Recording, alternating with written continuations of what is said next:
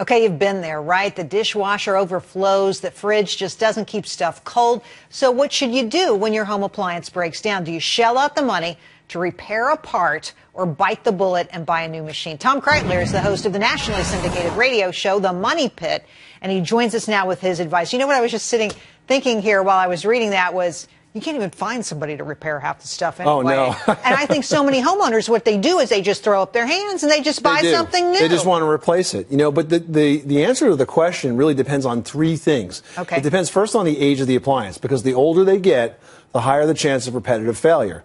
Then it depends on the cost of the repair and the replacement cost if you want to buy it new. Oh, okay, we're going to do the math on all of that. Yeah. But before you get to that, two things. First of all, the new products have so many more cool gizmos. They do. And, and great new electron, electronic wizardry. A and B.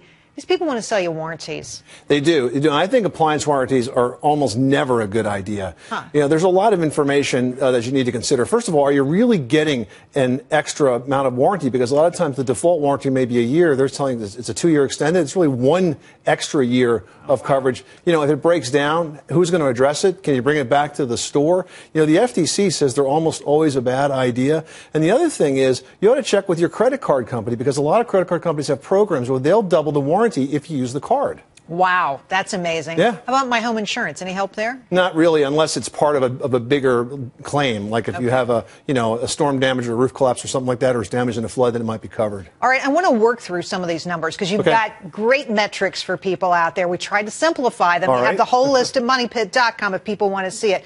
But let's talk through. Okay, a refrigerator, median age. Right. Repair or replace? Depends on the cost of that repair. So let's say the age of the refrigerator is somewhere at 8 to 15 years. I would consider that sort of middle age for a refrigerator. If it was a $1,000 refrigerator to buy a new one and you need to put a $400 compressor in it, probably a bad idea because I'd only spend up to 30% of the value of that refrigerator at that middle age on a repair. So at 30% of the cost of buying new, Correct. That's your limit. That's that's the break-even point. Exactly. What about a range? Well, similarly math with the range, but I would put that number more at 20%. And a dishwasher. Yep. Yeah.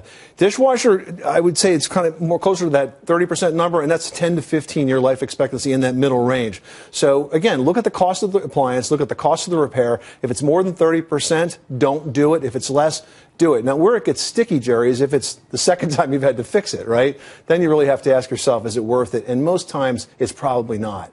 Built-in microwave. Uh, less than that, about 15%. Okay, so devil's in the details here, and it really depends on how old that appliance is. Because the newer it is, Yep. the more you want to hold Or you might on want to to put it. into it, right. If you're right out of warranty and something happens, maybe you want to put some money into it then. When it gets old, not so much.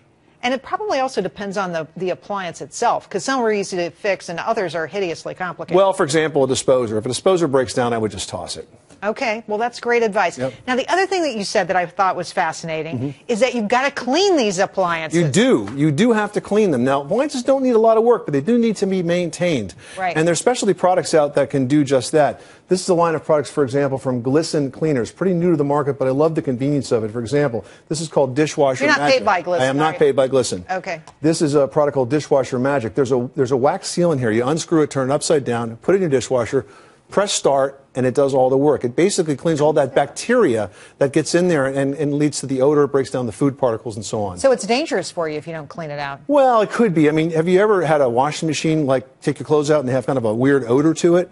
Well, that's the bacteria. It gets into the seals and stuff. So if you use the Washer Magic product or something like that, it will clean it.